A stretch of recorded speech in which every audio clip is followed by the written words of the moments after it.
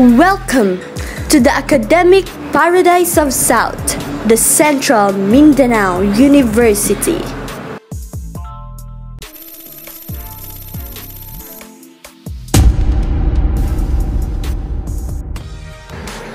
The home economics objective is to produce high qualified professionals in human ecology in allied fields imbued with dignity, lofty ideas, and high moral values.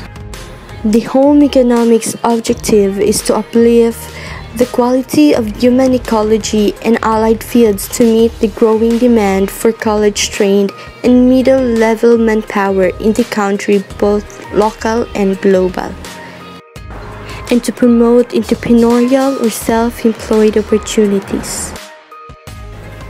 Home economics is a field of study that helps to develop knowledge, skills, and attitudes in the learners in the following areas.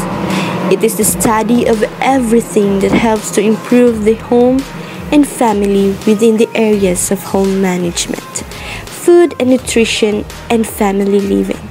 Students will be able to undertake hands-on activities on patisserie, as well as the Asian and international cuisines, learning the fundamentals of foods and food and management.